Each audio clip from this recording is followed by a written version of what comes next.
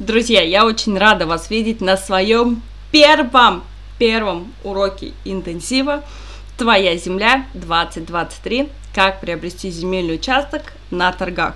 То есть это самый простой и самый легкий способ приобретения земельных участков. О торгах я могу говорить бесконечно много, да, то есть сразу вас предупреждаю, но мы разберем только важную информацию, которая необходима именно вам для того, чтобы понимать, где и как это сделать. Вы успешно выполнили домашнее задание. Вы молодцы. Именно поэтому вы допущены до этого урока. Если бы вы его не выполнили, то вы бы сейчас на этом уроке не присутствовали. И в предыдущем видео мы с вами говорили о том, что любой гражданин Российской Федерации, согласно земельному кодексу, имеет право приобрести земельный участок. И это ключевой момент, потому что сейчас мы будем именно разбирать, где, как это может сделать. И самый главный такой момент, что так как мы говорим про торги, да, то есть про земельные участки именно на торгах, то торги, на которых мы можем приобрести земельные участки, в данном случае у нас идут муници, муниципальные, это государственные торги. И важно понимать, почему сейчас самое время этим заниматься. На самом деле этим можно было заниматься и в 2015 году, и в 90-х годах, но просто нам об этом никто не рассказывал. И мы не знали, и мы не видели ценности того, что находится вокруг нас. И давайте с вами разберем, да, то есть почему самое время сейчас заниматься муниципальными торгами. Ну, во-первых, потому что сейчас у нас идут самые низкие цены и самая маленькая конкуренция на земельные участки. То есть люди, которые с ними работают, они видят в, это, в этом ценность. Те, кто не работает, они не видят. У нас идет запрет на участие иностранцам. То есть иностранное лицо не может приобретать в России для себя земельный участок. И в кризис а мы сейчас знаем, что у нас кризис, который не проходил с 2014 года, но лучше с нами, чем где-либо. Здесь вы можете приумножить свой капитал, сохранить свой капитал, да, то есть и заработать без стартового капитала. Мы, конечно же, это будем разбирать в следующих видео. Что у нас сейчас происходит с рынком муниципальных торгов? Давайте разберемся. И очень такой важный момент, в конце 2014 года произошло у нас два события. Ввели массовые санкции – да, то есть и с началом спецоперации у нас еще больше стало массовых санкций, и начался мощный экономический кризис. Он шел с 2014 года, и мы думали, планировали, что-то предпринимали, то есть мы не знали, как нам выжить. И в кризисной ситуации у государства всегда, ну, во-первых, у государства всегда есть активы, и в кризисной ситуации они их просто распродают том числе, которые были не приватизированы со времен ВССР. То есть в СССР раздавали имущество, никому оно не нужно, государство распродает на наших любимых торгах. А сейчас у нас есть взаимодействие двух факторов. Это финансовый кризис и огромное предложение. То есть нереально много имущества выставляется на торги. Также у нас есть санкции и запрет на участие в торгах нерезидентов. То есть круто, что только жители Российской Федерации могут участвовать, да, то есть любой гражданин, вы помните, это было в самом начале видео. То есть как бы получается, что, ну, как бы это ни звучало, но государство создает условия для активных людей внутри страны.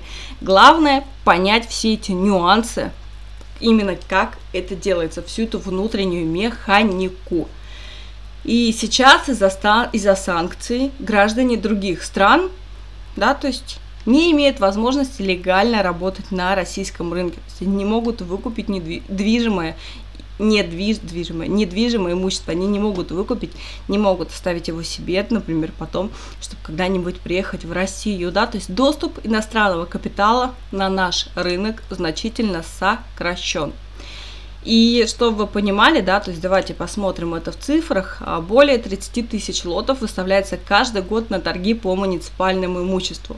Менее 15% лотов выкупается, ну вот реально 15% и, наверное, 10 из них выкупаем мы.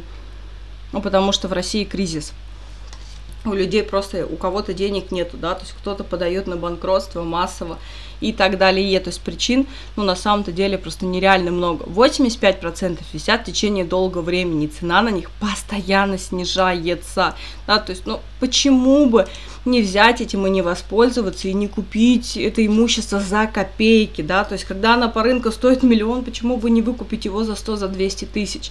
Но неужели это так сложно? На самом деле, да, то есть половина, вот реально половина из этих лотов реально выкупить за копейки. Просто важно понимать, где, как, с чем мы работаем и какие нюансы при этом возникают приватизируйте, пока вам дает наше государство, да, то есть вы видите лица известных людей, которые в 90-х годах просто нереально разбогатели на том, что сейчас я вам говорю, и вы тоже можете разбогатеть, да, то есть если вы умеете правильно все это делать, если у вас есть схема пошаговая, как, зачем, для чего и почему, да, то есть вы не виноваты, что вы не успели в 90-е, просто вас никто не научил. Сейчас время нисколько не поменялось, и вы также можете еще зайти в этот рынок, в государственный рынок, и на этом разбогатеть, ну, либо как минимум на этом заработать. Итак, мы с вами переходим к первому способу, как приобрести земельный участок на торгах. Это вы долго ждали, вот, наконец-то мы нашли. Итак, как приобрести земельный участок на торгах? Давайте, наверное, сначала разберемся, что такое вообще торги. То есть я говорю торги, торги, торги, торги, а что это такое? Ну, кто-то не знает, кто-то уже знаком. Ну, давайте. Торги – это такая открытая, скажем так, продажа имущества всем желающим путем проведения аукциона. Почему я говорю путем проведения аукциона? Потому что мы разбираем земельные, да, то есть вопросы, поэтому земля у нас всегда продается только путем аукциона. Поэтому имущество государство выставляет, да, то есть муниципалы, государство выставляют свое имущество, и все, кто хочет, может прийти и выкупить земельный участок путем проведения аукциона. Что такое аукцион? Аукцион – это повышение цены. То есть, к примеру, а земельный участок там стоит 1000 рублей. Шаг, шаг это поднятие цены составляет 100 рублей, да, то есть ну, 10%. Условно, просто все цифры здесь написаны. Итак, старт 1000 рублей. Кто больше там? 1100, 1200, 1300 и так далее. И ключевой момент, что побеждает здесь, здесь тот, кто предложит максимальную цену. Но тот, кто предложит максимальную цену, или тот, кто подаст одну заявку на участие. Есть, еще раз вам говорю, большинство торгов они признаны несостоявшимся. И с единственным участником, то есть тот, кто подал заявку на участие, заключает договора. Просто этих нюансов никто не знает. Давайте дальше разберемся, какие бывают торги. Торги бывают, я сейчас говорю про муниципальные торги муниципальные, то есть государственные. Есть банкротные торги. Банкротные – это когда имущество забирают за долги. И залоговые, когда человек рассчитаться, например, не может, и у него ну, в залог забирают. То есть муниципальные – это государственные. Это все то, что продают государства, муниципалитеты, да, то есть все муниципальные образования. Вот все то, что продается у государства. Где оно продается? Все это госимущество. И давайте мы с вами зайдем на наш сайт, с которыми мы будем знакомиться, постоянно знакомиться. Это называется сайт торги.gov.ru. Сейчас мы на него перейдем и посмотрим. Мы на примере разберем сначала полностью все имущество, а потом уже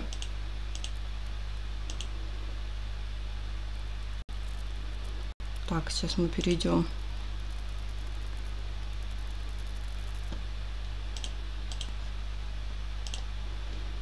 Итак, мы сейчас с вами перейдем на сайт торги.gov.ru. Итак, друзья, нас с вами перебросили на сайт торги.gov.ru, либо по-другому ГИС торги. То есть, как вы видите, у нас с вами ГИС-торги схожи чем-то с нашим сайтом, да, то есть ГОС-торги. И вот здесь вот у нас что, приветствуем вас в ГИС-торги, то есть приветствие. Здесь есть торги, реестр договоров, законодательства, аналитика. Обратите внимание, торги Российской Федерации, недвижимость, земельные участки, транспорт и другое имущество – то есть на самом деле у государства можно приобрести очень много разного имущества. И давайте посмотрим, какое. Если мы кликнем с вами на вкладку «Торги», у нас откроется категория имущества, то есть транспорт, недвижимость, земельные участки, акции и доли, права пользования, строительство, развитие и так далее. И все вот это имущество, да, то есть категория имущества, делится на виды торгов. Виды торгов, да, то есть а, категория имущества это конкретно продается автомобиль или сдается в аренду, да, то есть это все-все-все-все-все торги, которые могут быть. А есть виды торгов, то есть по ним участие происходит абсолютно отдельно, да, то есть у них отдельные правила, отдельные условия, отдельно как подавать заявку, как участвовать, да, то есть какие нюансы могут быть. И здесь у нас есть вот очень-очень-очень много, то есть аренда и продажа земельных участков, безвозмездное пользование и так далее. То есть мы можем выбрать абсолютно любой и работать с этим. Так как мы работаем арендой и продажей земельных участков, мы позже вернемся. А сейчас, к примеру, давайте выберем просто транспорт и вообще посмотрим, да, что у нас продается, к примеру, из автомобилей. Итак, у нас подгрузились наши автомобили. Давайте посмотрим, что, например, продается. А легковой автомобиль ВАЗ-21 101, да, то есть Лада десятка за 24 тысячи рублей. То здесь вы можете какую-либо первичную информацию посмотреть. Автобус, подъемный кран, снегопогрузчик, автобус, а, комбайн, Toyota Vista 95 -го года, то есть КАМАЗ. Ценники абсолютно разные. Регионы также абсолютно разные, просто нужно смотреть, искать вообще, что нам хочется и что нам необходимо приобрести. Да? То есть, еще раз говорю, мы здесь просто выбрали категорию.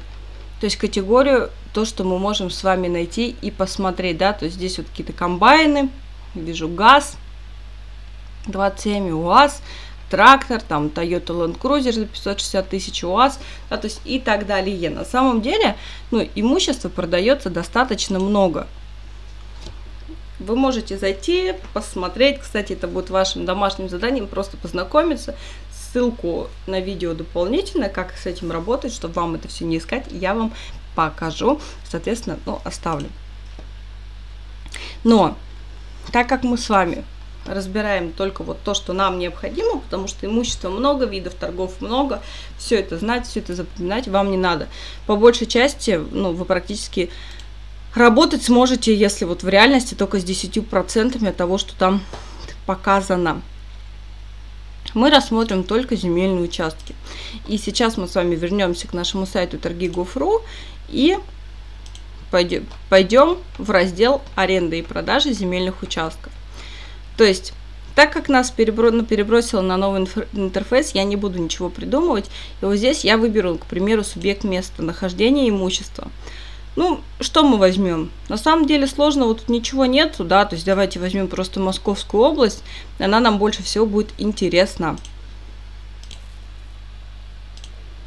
Сайт может часто виснуть, поэтому не пугайтесь, да, то есть и возьмем субъект местонахождения имущества, то есть мы возьмем ну, Московскую область, как я уже сказал.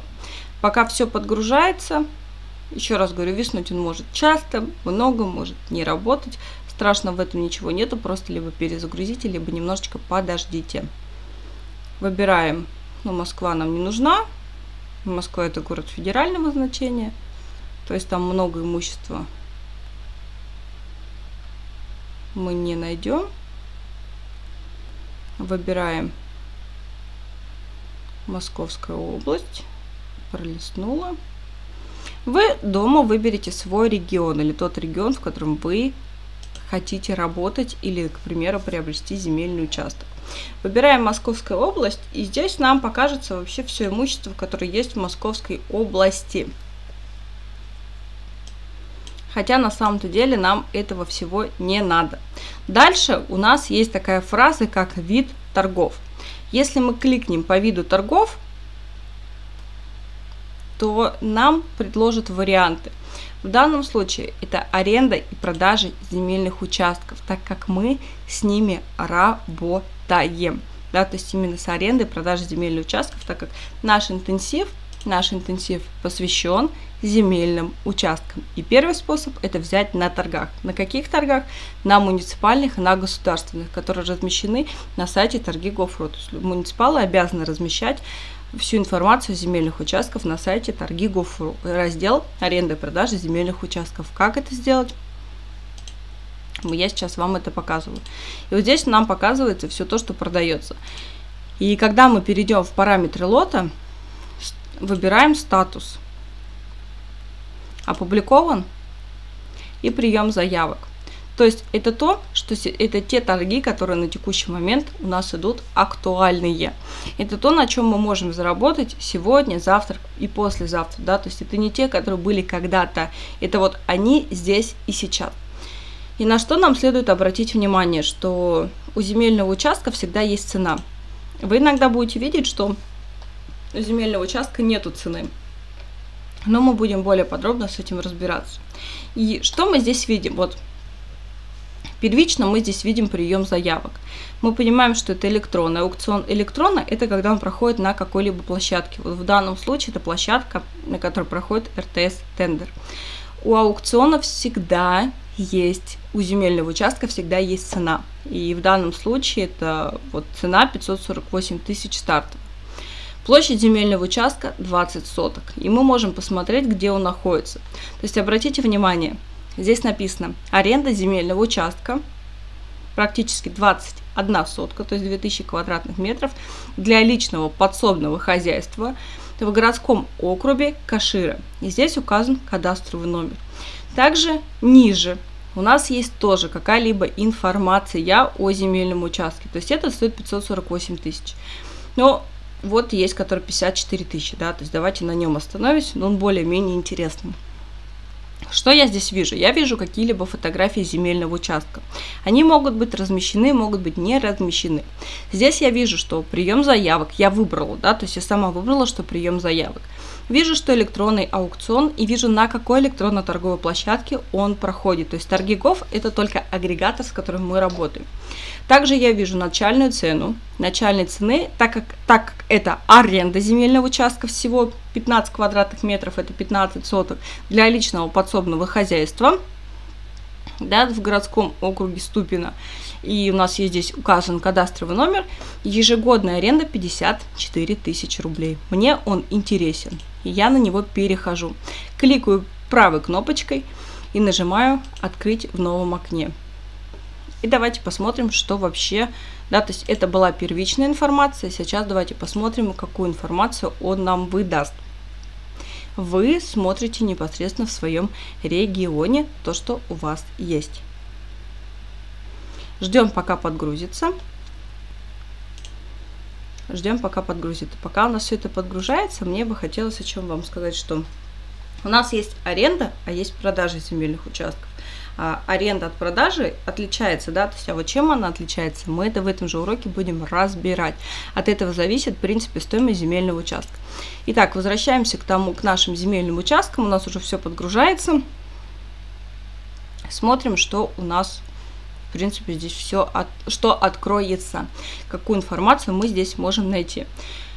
Еще раз говорю, когда сайт очень часто подвисает, к примеру, когда открыто много вкладок, когда да, то есть техника работает очень много, и сайт он также профессиональный, он очень много ест, поэтому будьте внимательны. Если у вас много-много всего открыто, лучше закрыть. Я закрыть не могу, поскольку записываю для вас видеоурок. То есть, что я здесь вижу еще раз? Аренда и продажа земельного участка 15 квадратных метров для личного подсобного хозяйства в городском округе Ступино. И вижу кадастровый номер. Да, то здесь я предварительно вижу по фотографиям, что участок достаточно ровный. Вижу начальную цену, вижу шаг, на который будет подниматься у нас цена.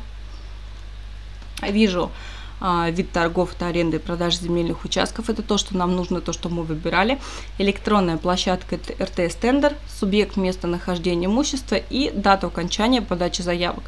То есть 18.04, 18.00 по московскому времени будет окончание подачи заявок. Да, то есть и здесь я что для себя еще ищу интересного. То есть срок аренды 13 лет и, и 2 месяца. 13 лет и 2 месяца я могу платить по вот этой начальной цене, если выиграю данный земельный участок. И работая да, то есть здесь я вижу, куда задатки перечисляются, здесь я вижу кадастровый номер. Кадастровый номер – это личные границы индивидуального земельного участка, да, то есть вот ключевое слово личные, прям реально границы индивидуального земельного участка. Эти границы мы смотрим в публичной кадастровой карте. Публичная кадастровая карта – это официальный источник от Росреестра. Он нам нужен, он нам будет просто необходим при работе с земельными участками, как со свободными, так и с торгов, да, то есть, ну, более подробно будем, конечно же, это разбирать, но пока ключевой момент. То есть кадастровый номер я на текущий момент просто скопировала. А, что я вам хочу сразу сказать. 54 тысячи аренда, да, то есть просто запомните, что это такое. Дальше будем разбирать. Итак, земельные участки можно приобрести как в аренду, так и в собственность, да, то есть, но и сделать мы это можем первым способом, еще раз, на торгах. То есть земельные участки, еще раз, два вида, да, то есть я прям вам уточняю, чтобы вы не запутались, не перепутали, да, то есть два вида, это аренда и это продажа. Аренда именно аренда, это то, что мы с вами берем во временное пользование. И если мы выполняем какие-либо условия, условия, да, то есть то мы можем забрать уже земельный участок, это в собственность. И аренда привлекательна относительно всегда маленькой ценой, да, то есть по сравнению с рынком, по сравнению с продажей, аренда, она всегда, всегда будет дешевле. Но на самом деле все это зависит от регионов и от тех муниципальных образований, которые выставляют земельные участки на торги. И продажа, да, то есть продажа это когда мы не выполняем никаких условий, а просто подаем заявку, берем сразу в собственность, оформляем на себя и делаем земельным участком вообще все, что мы хотим. И а, продажа привлекательна тем, что нам ничего не нужно там делать, строить, выполнять какие-либо условия, просто взяли и уже можем перепродать. И от чего зависит а, вообще а, стоимость имущества? Да, то есть давайте сразу разберем, от чего зависит стоимость земельного участка, как она вообще складывается цена.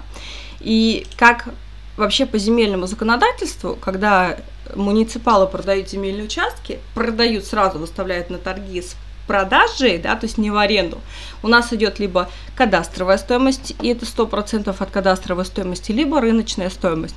Рыночная – это когда муниципалы делают оценку и выставляют уже непосредственно на продажу по оценке. И вот такой ключевой интересный момент.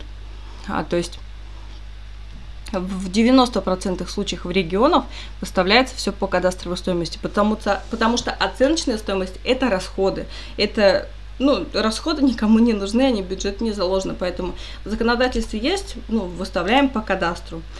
А при выкупе из аренды, из аренды, да, то есть у нас мы учитываем всю ту же самую кадастровую стоимость, но там минимально идет 3% от кадастровой стоимости. То есть понимаете, что земельный участок, который мы с вами рассматривали за 54 тысячи, это была только аренда, да, то есть давайте его же разберем, за сколько мы его сможем выкупить и сколько бы он, к примеру, стоил на торгах. Для этого нам с вами понадобится публичная кадастровая карта. То есть эту стоимость мы будем рассматривать в публичной кадастровой карте. И сейчас я перейду в публичную кадастровую карту. А она работает официально от Росреестров. Очень часто она не работает, очень часто виснет, но тем не менее мы с ней обязаны работать. Это наш с вами необходимый инструмент. Набираем ПКК, публичная кадастровая карта. Если вдруг она виснет, да, то есть а, при анализе земельных участков она вообще нам просто необходима. Но если мы хотим первично посмотреть, к примеру, кадастровую стоимость, нам подождет, подождет, нам подойдет и публичная вот ЕГРП 365. То есть в целом, если основная карта не грузится, кадастровую стоимость мы можем посмотреть и в другом месте. Если она грузится, если все окей, то, конечно же, лучше работаем с официальным источником информации. Но это просто для нас необходимость. Так, давайте подождем. В данном случае нам просто нужно для знакомительной версии, поэтому мы с вами перейдем на более легкую версию, это EGRP 365. Она более чаще работает, она не зависит от выходных, да, то есть она практически всегда работает. Поэтому мы перейдем на нее, И в объем здесь наш кадастровый номер земельного участка, который мы с вами рассматривали за 54 тысячи рублей. Кадастровый номер у нас всегда располагается вот здесь внизу, кадастровый номер земельного участка. Это если он у нас имеется. В большинстве случаев он у нас имеется, потому что эти торги вновь образованные, да, то есть новые торги, вновь образованные земельные участки. И здесь мы можем заказать выписку ИГРН для того, чтобы посмотреть какие-либо обременения и ограничения, но в случае с земельными участками у нас они обычно все пишутся в документации. И здесь ввели кадастровый номер, Ctrl-C, Ctrl-V я сделала, либо мышкой кликнули, выделили копировать, и здесь у нас пока идет загрузка данных, то есть как только загрузится, мы сможем посмотреть с вами местоположение земельного участка и какую-либо первичную информацию, да, то есть вот кадастровый номер не загрузился,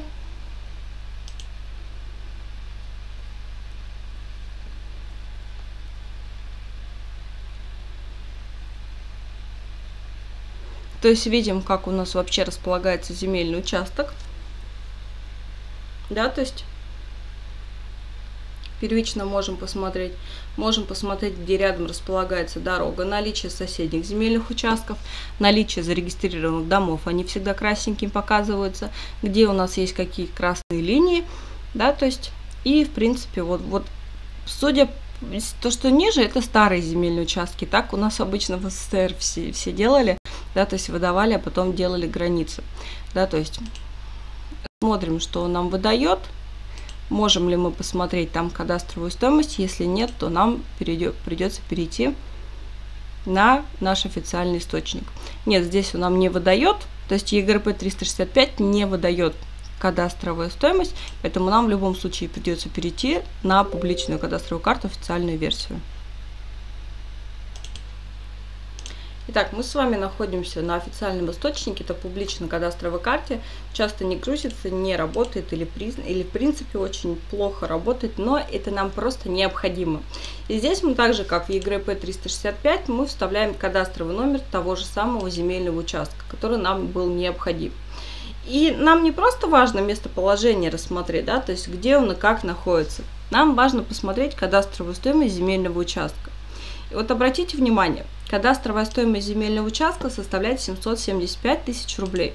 На торгах, на торгах этот земельный участок, да, то есть право аренды стоит 54 тысячи. И если бы муниципалы выставляли бы его по, на продажу, то они бы выставили за 775 тысяч рублей. Да, то есть вот 775 тысяч рублей. А если мы сейчас с вами откроем калькулятор, и посмотрим, сколько будет, ну, я точно знаю, мы уже работали с Москвой, что Москва, Московская область, ну, Московская область, если быть точнее, то 3%, 3% у нас будут составлять, сейчас мы прям на компьютере перейдем, можете пока открыть калькуляторы, Итак, 775 тысяч умножаем на 3%, получается 23 тысячи 250 рублей. То есть мы, к примеру, взяли земельный участок с начальной ценой за 54 254 рубля. Ну, пускай будет 54 тысячи рублей. Да? За 500 тысяч, 500 тысяч мы построили там небольшой дом для своего личного проживания, для перепродажи нам не важно. И выкупили вот этот земельный участок за 23 тысячи рублей. Круто? Круто. То есть мы не просто взяли земельный участок, мы построили на нем дом, да, то есть выполнили условия и выкупили. Все это мы это сделали за год. Да, то есть понятно, что мы продать его можем намного дороже. Либо вы можете сразу напрямую у муниципалов, если они выставили, приобрести эти 15 соток за 775 тысяч рублей и реализовывать уже просто пустой земельный участок. Но чтобы у вас было понимание, да, то есть а, продать земельный участок с домом, с домом намного проще, намного выгодней, чем продать пустой абсолютно земельный участок. Именно поэтому аренда считается самой привлекательной. Но те, у кого нету своих финансов на строительство дома, да, то есть и когда кадастровая стоимость не очень большая, в этом случае спокойно можно приобретать по кадастровой стоимости. То есть условия необходимо прям вот смотреть в каждой, в каждой администрации. Давайте немножечко с вами поговорим. От чего зависит стоимость земельного участка? Да, то есть вообще от чего она зависит, да, то есть первое, от постановлений в регионе, в котором вы будете работать. То есть в Московской области у нас а, небольшой процент идет от кадастра, это аренда, и плюс дополнительно 3% выкуп от кадастровой стоимости. В Томской области, в Томском районе, если быть конкретно, в некоторых муниципальных образованиях у нас аренда идет 100% от кадастра, аренда в год 100% от кадастра, и выкуп составляет 3% от кадастра, ой, вру, 30% от кадастра, а где-то даже 100% от кадастра. То есть взяли в аренду 100% от кадастра, плюс 100% от кадастра вы еще потом выкупили, при этом вы построили дом. Ну, то есть нелогично в такие земельные участки заходить, когда их можно просто без дома приобрести по кадастровой стоимости, да, то есть и именно поэтому важно научиться работать с администрациями и с постановлениями в вашем регионе. Также стоимость земельного участка зависит от того, где расположен земельный участок. То есть, говоря простыми словами, в населенном пункте, да, то есть либо вне населенного пункта, ну, э, стоимость всегда разная. Назначение земельного участка. То есть, чтобы вы понимали, промки, промучастки для предпринимательства, для продажи, они всегда являются самыми дорогими земельными участками. ИЖС, ЛПХ, они всегда идут, у них идет такая средняя цена. Сельхоз земельные участки для садоводства, да, то есть они идут самые дешевые, самые недорогие. Но на каких-то можно строить дом, на каких-то нельзя. И все зависит от вида права аренды. Да, то есть а, вид права аренды от вида права либо продажа, либо аренда. Да, то есть вот мы понимаем и дальше уже рассчитываем, как мы хотим приобрести, за какую стоимость и сколько нам для этого нужно наших вложений. Если мы берем для себя, либо мы то же самое можем сделать для наших клиентов, да, то есть оказать услугу по выкупу земельных участков с торгов. И у нас земли делится вообще на две категории. Это земли поселений и земли сельхозназначения. А дальше уже ну, назначение земельных участков, их очень много, они разные.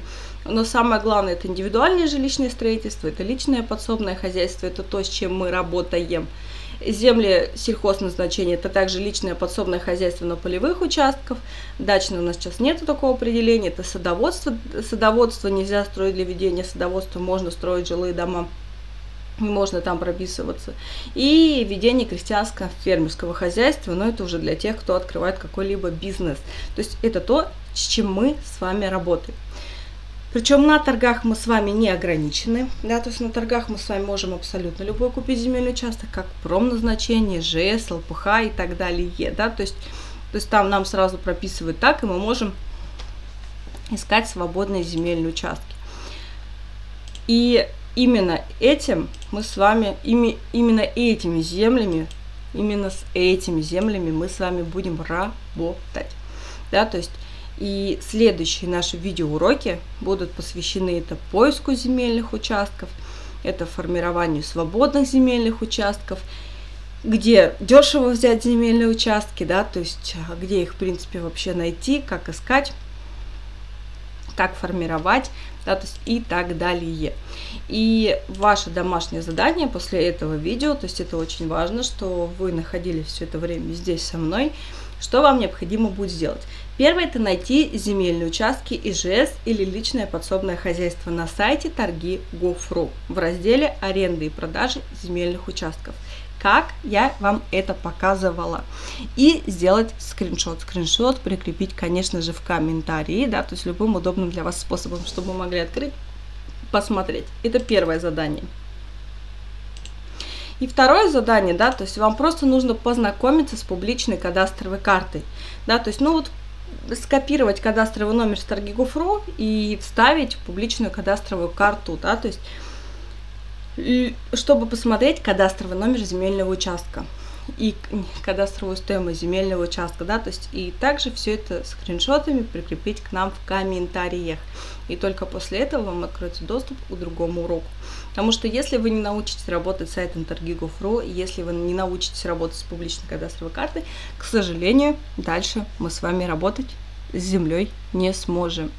Поэтому делаем, выполняем. И до встречи в следующем видео.